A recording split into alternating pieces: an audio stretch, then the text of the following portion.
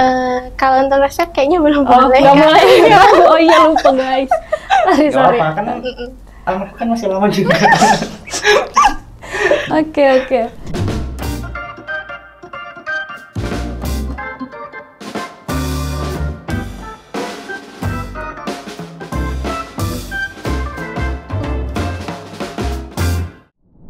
Assalamualaikum warahmatullahi wabarakatuh. Halo Sobat Mutok, selamat datang di Stiksa Mutok. Perkenalkan, saya Diva. Dan saya Devin. Kami adalah host baru untuk episode Stiksa Mutok pada kali ini. Kakak, tadi itu kan aku ada scroll-scroll TikTok kan. Nah di situ tuh lagi ramai ngebahas tentang isu stunting. Kakak tahu nggak sih stunting apa? Oh, stunting ya? Eh, iya sih, sering banget juga lewat di media sosial Pupin. Kenapa nih kamu tiba-tiba kepikiran ke situ? Iya takutnya kan nanti kalau misalkan suatu saat nanti kan aku punya Oke. anak terus tuh anakku stunting. Aku takut sih gitu kan. Oh, sudah jauh ya pemikirannya, iya. Tapi nggak apa-apa sih persiapan kan, Persiapan cari tahu. nah. Aku juga pengen cari tahu Pin, tapi aku juga kurang tahu. Eh, kayaknya aku ada deh kenalan mahasiswa dari Stiksam. Itu Oh, temanku gitu. sendiri ya. Oh, Dia oh. lagi ngejalanin penelitian tentang stunting ini. Eh, keren keren. Nah, kakak mau kenalan nggak? Ih, mau banget, boleh, seru itu. Aku panggil sekarang. Iya, boleh sekarang dipanggil. Nah, jadi ini dia. Steffi dan Dinda. Yeay.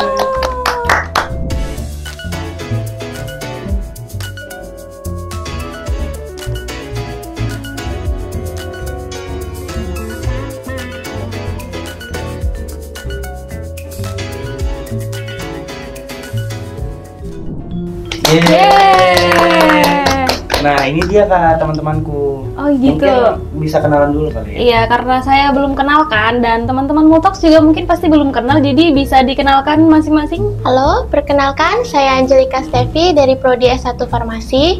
Halo, nama saya Dinda Talia, saya dari Prodi S1 Farmasi juga. Oke, nama panggilannya nih biar kita enak manggil siapa nih? Saya dipanggil Stevi. Oke, Steffi. Saya biasa dipanggil Dinda. Oke, jadi Steffi dan Dinda ya, Pin, Iya. teman-temanmu. Benar banget. Nah, kemarin kan kalian eh ngejalanin penelitian kan sampai sekarang ya. Iya kak. Nah, itu tuh kalian ngambil isu stunting tuh dari mana sih? Kenapa bisa kepikiran gitu?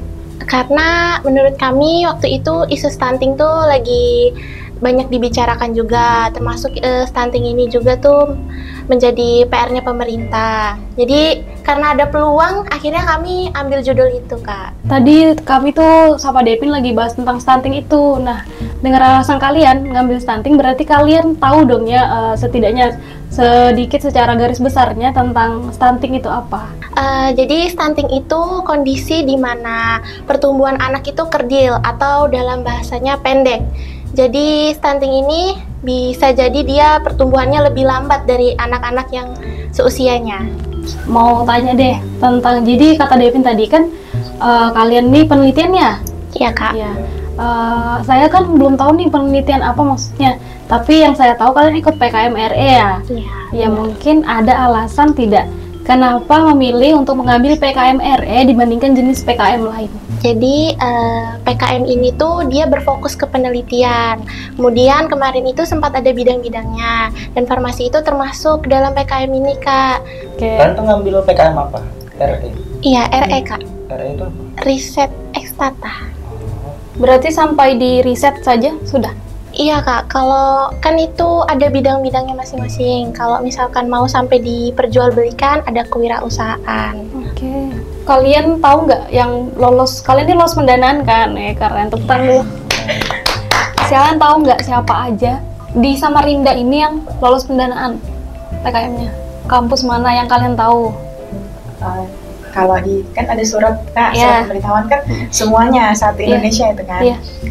Kalau kalau dari Stiksa mungkin cuma kami aja. Kalau Iya. di Unpul itu banyak kak. Banyak ya? Iya, Mm. lebih dari 10 tim itu lolos. Iya, mungkin karena banyak juga yang ikut ya. Iya, Aduh. karena fakultasnya kan di sana banyak. banyak. Kalau Iya. kami kan cuma satu aja. Dua.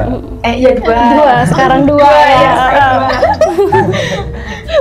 Oke, tapi kalian lolos dan kelompok yang lain apakah ada yang lolos? Tidak ada kak. Nggak ada, belum Iya. ada ya. Oke. Terus, Berarti semuanya ngambil RE ya? iya kak. semuanya ngambil eh. RE, Mm. benar. Dan, dan kalian adalah yang beruntung bisa sampai di sini. Ah, keren keren. Eh, kalau boleh tahu judul kalian tuh apa sih? Judul kami itu eh, inovasi cookies bayam merah Nah, terfortifikasi repam oil untuk mitigasi stunting pada balita.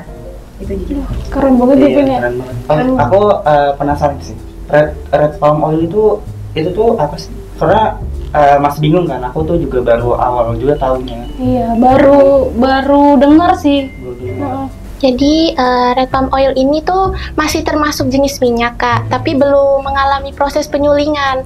Kan kalau minyak yang sudah ada penyulingannya itu bisa dipakai untuk menggoreng, tapi mungkin RPO ini belum bisa dipakai buat menggoreng.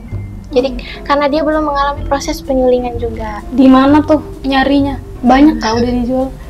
Kalau di sini belum, kalau di sini belum banyak sih. Belum banyak. Banyaknya itu di daerah Sumatera. Oh, jadi kalian Dapatnya dari mana? Ya dapatnya kami pesan dari Lampung. oh gitu. Iya. Hmm, Lewat Shopee. Ya, Ya, aplikasi belanja online. Iya. Eh, bahan-bahan lainnya tadi apa ya? Eh, bayam ya? Iya kak. Iya, bayam merah. ya benar. Oke, itu banyak di sini. Kalau untuk produksinya masih minim sih kak, lebih banyak bayam hijau ketimbang bayam merah.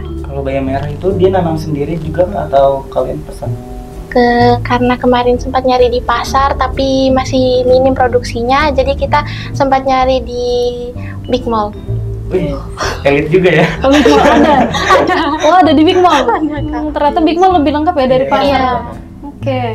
Info baru lagi tuh, baru. Tuh, teman-teman. Jadi eh, karena kalian mengambil ingre- ingredients bayam dan Minyak. red palm oil itu bahan apa yang eh, bisa mencegah stunting? Di sini kan kami uh, riset dan ternyata di risetnya itu bilang kalau uh, anak-anak stunting ini tuh kekurangan vitamin A atau beta karoten. Nah di dalam di dalam red palm oil itu ternyata dia tinggi sama beta karoten kan. Dan bayam ini juga tinggi. Jadi kami tuh kayak mengkombo kayak karena red palm oil sudah tinggi, bayam merah tinggi, jadi kayak beta karotennya jadi makin tinggi dan kami harapkan tingginya beta karoten itu bisa mencegah stunting. Oke, berarti semua bahan yang dipakai bisa mencegah stunting. Iya, Iya. Bagus, Pin. Bagus banget. Ya nanti kalau misalnya punya anak lagi gitu deh, gue kasih makan gitu deh. Iya, tadi dia sempat khawatir anaknya di masa depan takut kena stunting gitu. Mungkin bisa anu ya eh, minta resep dari Boleh, produk ya. penelitian kalian. Eh, kalau untuk resep kayaknya belum Oh, boleh. Kak. boleh. oh iya lupa guys. Sorry, Gak sorry. apa kan kan masih lama juga. Oke, oke. Eh, selain itu, berarti benar-benar cuma dua bahan itu yang dipakai. Iya kak, Apakah ada pengawet, nggak ada. eh, pemanis, Pemanis sejauh ini yang dipakai gula, gula? Iya. Oke. Gula biasa. gula tebu. gula tebu. Eh, mau tanya, apakah ada yang melatar belakangi kalian kenapa memilih produk cookies daripada produk yang lain? Kan banyak tuh.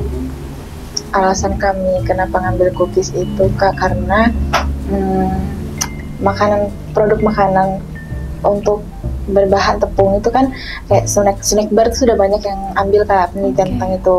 Jadi kan kami ingin membuat sesuatu yang baru. Nah cookies ini jarang ada orang kayak penelitian ngambil cookies gitu. Jadi Mm, alasan kami ngambil cookies itu karena belum ada yang ngambil belum ada yang Iya, ngambil. belum jarang ada yang Jarang. buat cookies untuk Oke. penelitiannya Oke. karena cookies tuh kayak cemilan cemilan biasa cuma sehari-hari gitu kan Iya, iya, mudah. Ah, mudah didapat kalau snack bar kan banyak juga ya kak Iya. sudah banyak yang kayak ngambil penelitian tentang snack bar jadi kami ambil yang baru Yang barunya. itu buat cookies Oke.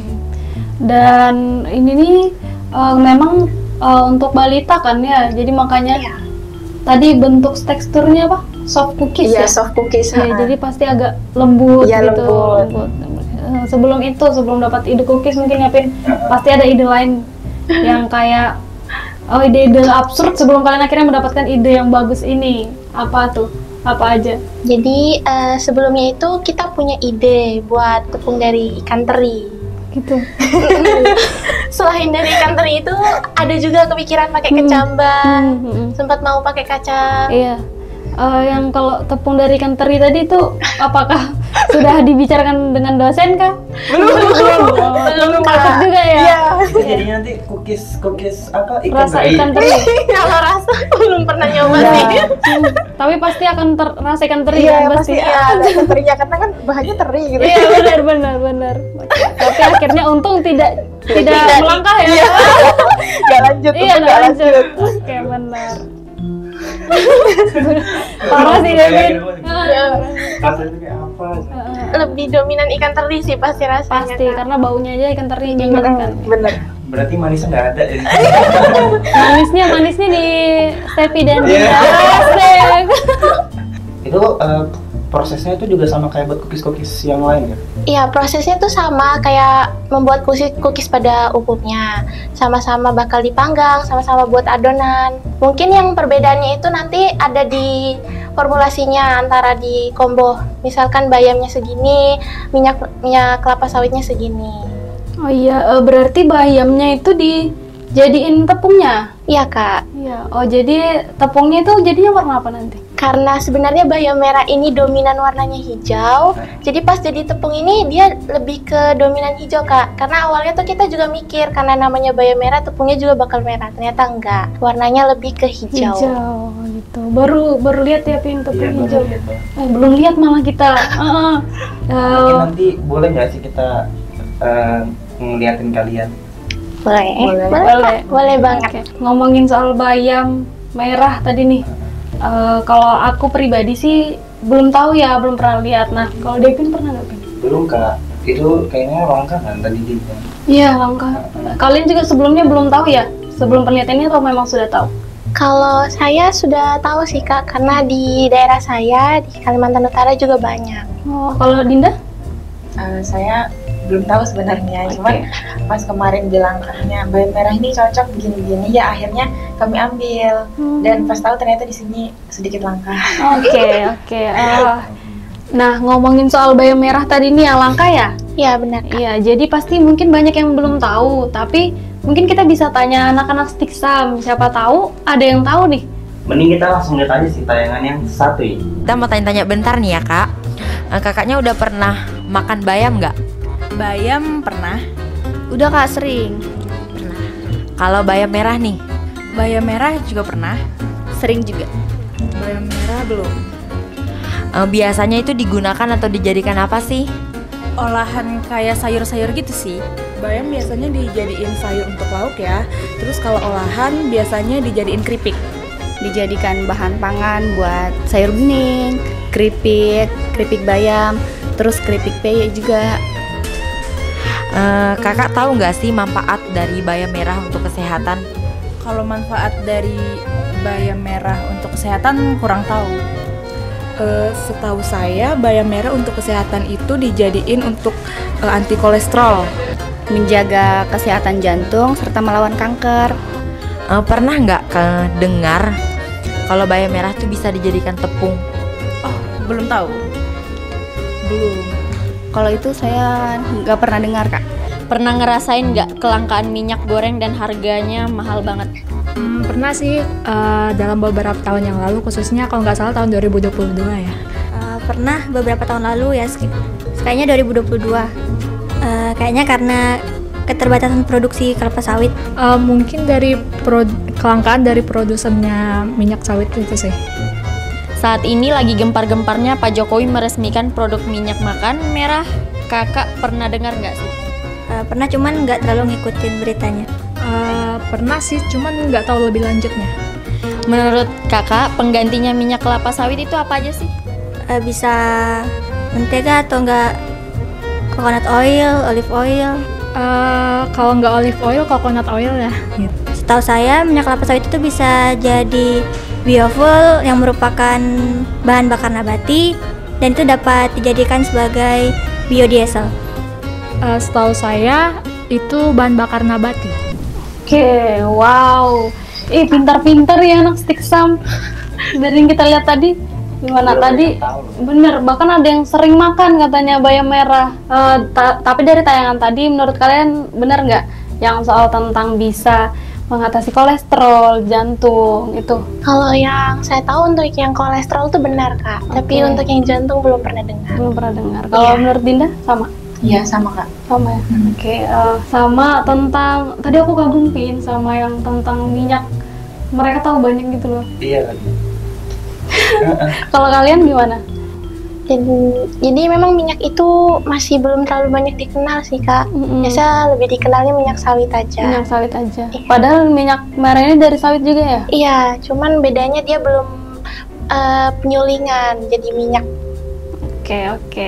Eh, kalau ngelihat jawaban-jawaban anak Stiksam tadi eh, sekitar 80% mungkin pada tahu ya Iya. sama bahan-bahan yang kalian pakai.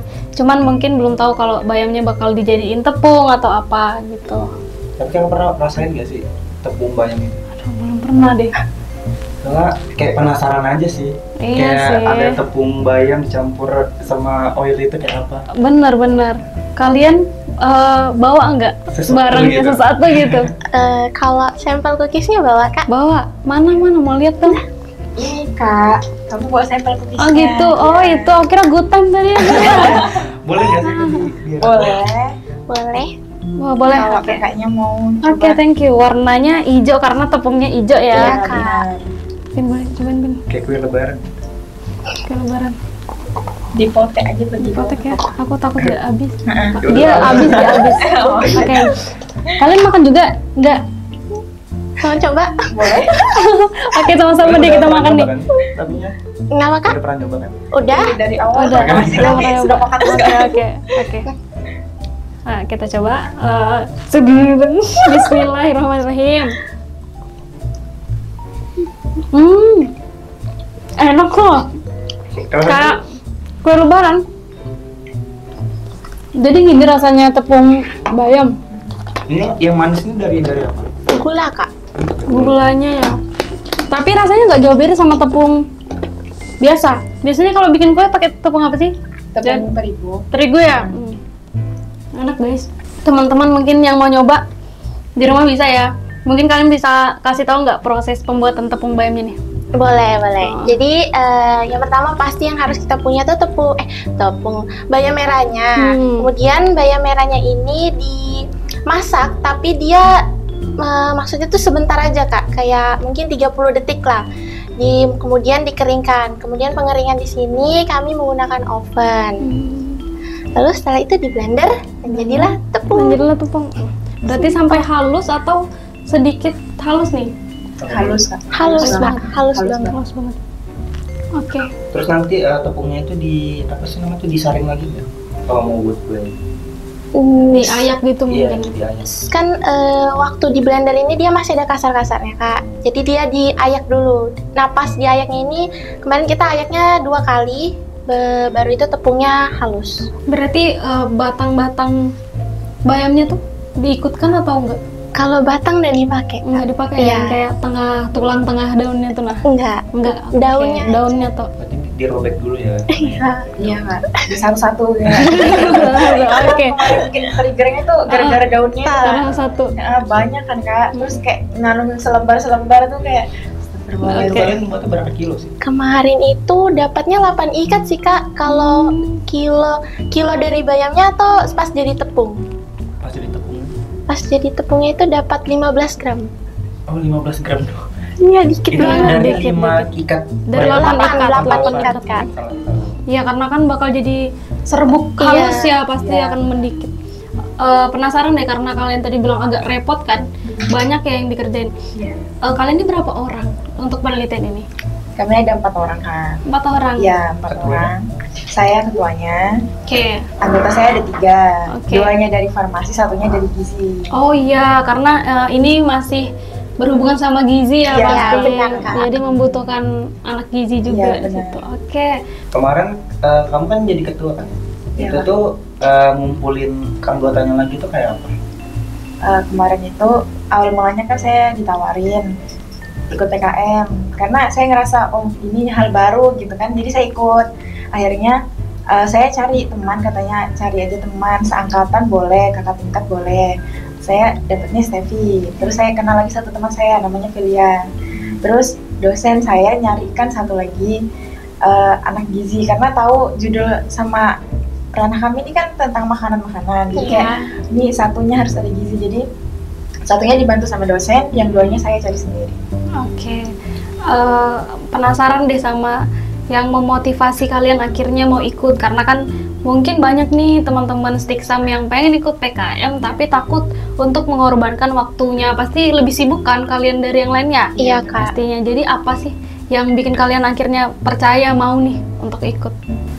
Eh, pas kemarin pas Osmar itu kami sempat di diberitahu sama ini eh, sama dosen kalau kalau misalnya ikut PKM itu bisa ada benefitnya gitu bisa konversi SKS terus tuh bisa ada skripsian cuman karena karena saya dengar aja saya pengen coba juga kan jadi itu mungkin salah satu motivasinya kenapa kami ikut PKM Oke, karena bakal ada benefit itu. Iya. Tapi itu benar nggak sih benefit? Bener kak Bener Iya, ya? bener Berarti Hah? tapi ada syaratnya Oh, oke, apa tuh? kami ini kemarin tidak searching juga Mm-mm. ternyata yang untuk kalau konversi SKS itu benar bisa.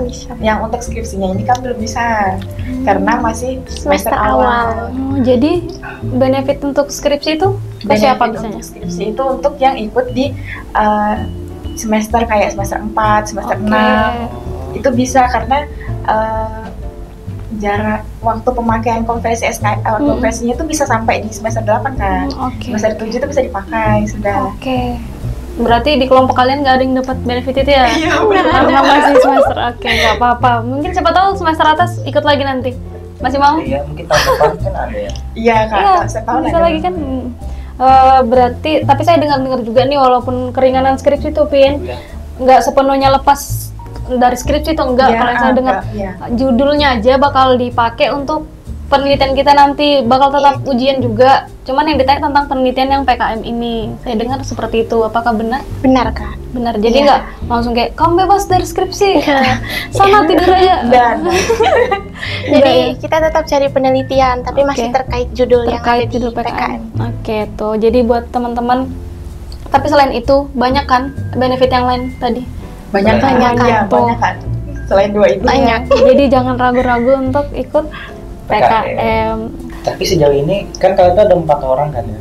Itu apa sih kendala kalian itu kayak bertukar pikiran mungkin atau ada yang Benar.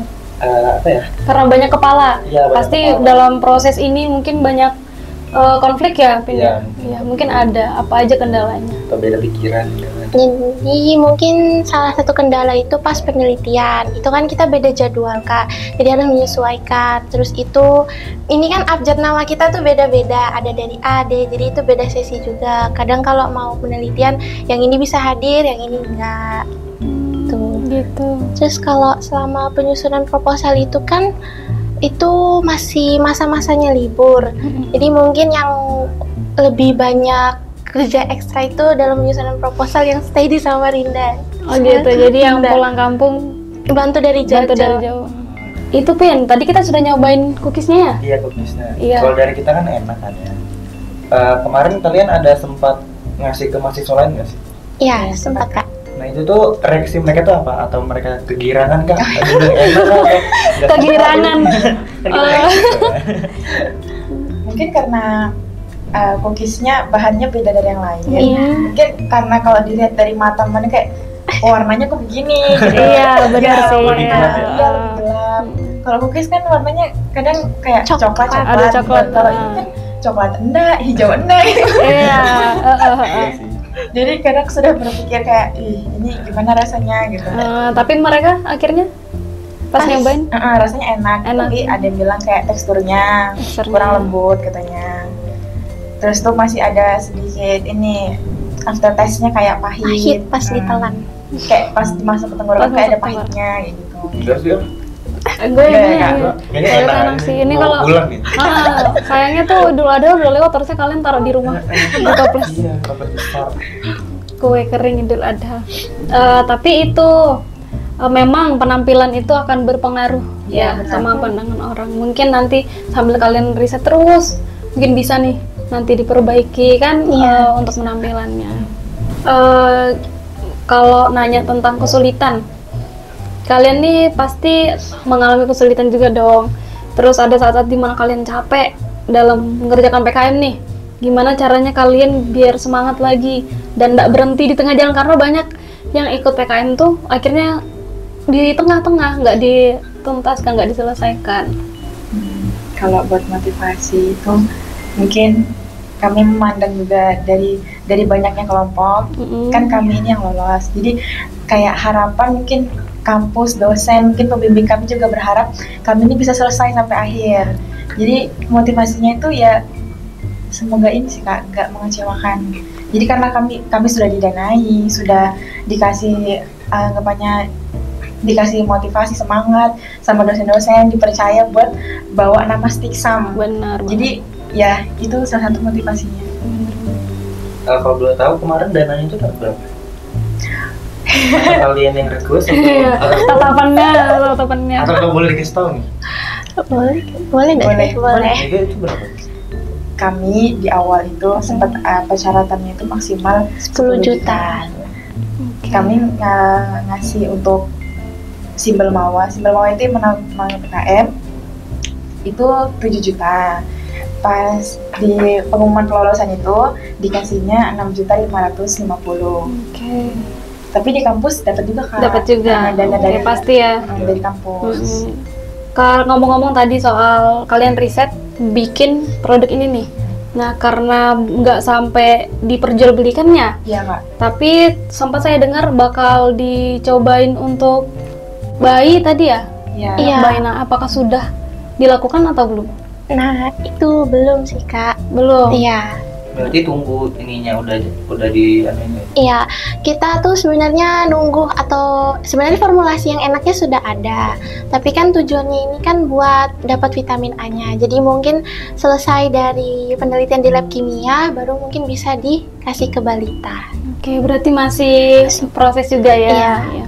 Kalau sudah yakin yang itu dah yang terbaik Iya. formulanya, baru dicoba. Eh, terencana bayinya siapa? Atau umuran ya umur umur dia makan itu dari dari kapan? iya iya, bener karena kan ada MPASI ya namanya Iya. bayi. Iya. Mungkin sekitar dua tahun ke atas sih kak. Oh dua Dua tahun, sampai- udah. Berapa? Empat tahun mungkin. Iya. Itu tadi yang pertanyaan pertanyaanku tadi berarti kalian random cari Dan balitanya atau punya keluarga kalian atau kenalan? Rencana dari dosen pembimbing kami itu bakal ke posyandu, Kak. Oh jadi bayi-bayi di Iya. posyandu. Kalau dosen, dosen-dosen udah ada yang nyoba nggak? Sejauh ini yang udah pernah nyoba baru beberapa sih Kak dosen, nggak semua. Siapa aja tuh? Kayak Mas Rifki, Oke. Mas Agung, Mm-mm. Ibu Amel, Ibu Alfi, Eh, ada satu lagi ibu itu. Ibu Ega. ya Iya, Ibu iya. Ega. Oke, apa aja tuh komentarnya?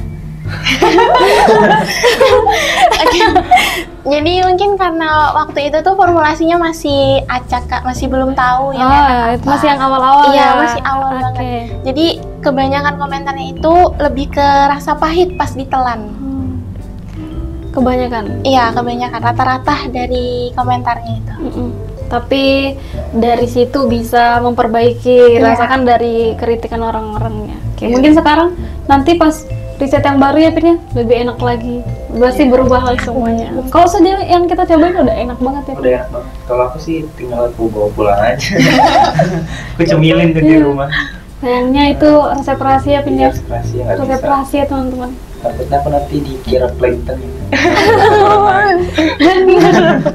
Selain kepikiran aja. Nah, kalau misalkan kalian udah misalkan ya lolos timnas kan, amin. Ya, Amin. ya Allah. Amin ya Allah. Nah, itu nanti bakal berlanjut lagi kan? Eh, mungkin kalian share share cookies kalian ke anu ke balita-balita yang stunting gitu. Rencana buat disebarluaskan belum ada sih kak. Sejauh ini mikirnya sampai ke penelitiannya aja dulu. Oke. Jadi masih mem- memperbaiki formula yang ada dulu Iya. ya masih ya, karena masih Mau riset. disempurnakan juga. Nanti kan nanti kalau misalkan udah di balik entry lagi. Jangan dia nih mikirin itu, dia mau beli cookies kalian untuk anaknya. ya kan? Iya, kembali lagi ke pikiran awalmu tadi. Kan udah lupa ini. Heeh. Jadi gitu ya, Pin sudah sudah terjawab nih semua pertanyaan-pertanyaan kita. Iya. tentang stunting, tentang PKM juga Kita dapat banyak ilmu baru ya. banyak banget. Jadi eh, kita ucapkan terima kasih kepada Stevi dan Dinda karena sudah berkenan membagikan ilmunya dan pengalamannya ke sini. Oh, mungkin sebelum kita tutup episode kali ini, Dinda dan Stevi mau menyampaikan pesan kepada sobat-sobat Mutox di rumah. Saya persilahkan. Uh, untuk teman-teman Stiksem semua, jangan ragu untuk mengikuti kegiatan PKM, penelitian, apalagi Stiksem ini mensupport anak-anak yang mau maju, ikut penelitian, ikut lomba-lomba. Jadi jangan jangan ragu, ikut aja, maju aja dulu. Yang untuk hasil itu belakangan. Yang penting berani mencoba. Oke, oke. Oh, tepuk tangan. Untuk kemarin ya kalau Mm. PKM itu harus tuh harus ada niatan kalian juga. Betul, betul. Nanti mungkin bisa saling tanya-tanya Kak Stevi dan Dinda Iya, Kak Mas benar, boleh banget. Terbuka kan? Iya banget. Jadi buat sobat-sobat Mutox yang mau dukung dan lihat kemajuan Kak Stevi dan Kak Dinda dan teman-temannya juga dalam penelitian ini bisa untuk follow Instagram PKM mereka di bawah ini. Nah, buat sobat Nutox jangan lupa untuk subscribe channel YouTube di bawah ini dan jangan lupa juga untuk di like Jangan lupa di komen juga subscribe. and See you in the next Tiksam Mutox.